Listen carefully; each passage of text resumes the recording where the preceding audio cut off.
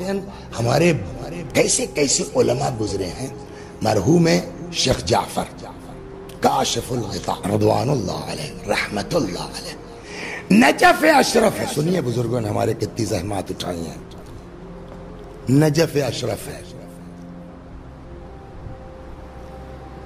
किसी ने कुछ खुम्स की रकम दे दी। ये वो रकम लिए हुए आ गए हरम में।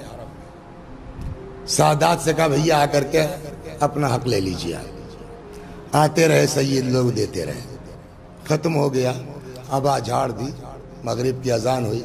अल्लाह अकबर, नमाज़ शुरू कर दी। नमाज़ मगरिब खत्म हुई तो बात उड़ी के भाई आज बटा है पैसा।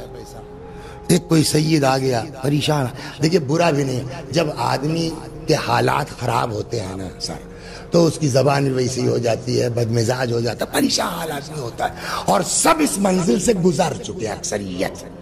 आप अपने एतबार से रख के सोचिए कि जब हम परेशान थे तो हमारी कलबी कैफियत क्या तो बहुत बुरा मानना नहीं चाहिए। वो आया। उसने कहा शेख ला मेरा हक दो।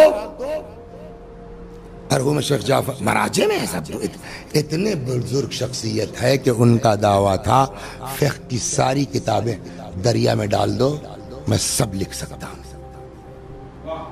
अजीब चीज़ थे वो। लेकिन अखलाक देखिए उलमा का हमारे अखलाक देखिए नमाज़ मगरिब खत्म हुई, हरम अमीर उलमोमिन किस्सा। है शेख, लाओ। मेरा हक लाओ। उनका भैया, लेट कर दिया आपने। देर में तशरीफ़ लाए आप। अब तो खत्म हो गया। नहीं है। लगता है बेचारा बहुत परेशान था, जरूरतमंद था। जैसे उसको पता हुआ मायूसी हुई कि नहीं होगा तो उसने थूक दिया। मरहूम शेख जाफ़र, काशिफुल गिता अलैह, जैसी शख्सियत की दाढ़ी के ऊपर थूक दिया। हम लोग बर्दाश्त करेंगे। पगड़ी लगाना और है कबा पहनना और है। दीन जैसा आदमी चाहता है ना वैसा बनना बहुत मुश्किल है। बहुत मुश्किल है। अल्लाह एक वाक़ अभी याद आया मैं सुनाता हूँ। हमारे ओलमा कैसे कैसे गुजरे अभी ताजे की बात है। जानते हैं आप। थूक दिया उसने उनके मुँह पर।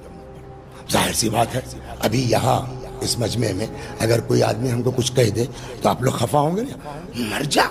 लोग ना ना ना ना आप लोग बैठिए। सब लोग बैठिए सफ में फरमाते जिसको भी शेख की दाढ़ी से मोहब्बत है वो इस सैयद की मदद करे और अपनी अबा लेके खुद टहलने लगे। अजीब। अब जब वो खुद चल पड़े तो जिसके जेब में जो था डालता गया, वो शायद सहमे सादात में उतना ना मिलता उसको, जितना पब्लिक से इकट्ठा हो गया। इकट्ठा हो गया तब भाई लो माफ़ करना हमको जो तमाम। ऐसे ऐसे बुज़ुर्ग हमारे ऐसे ऐसे ओलमा गुजरे हैं।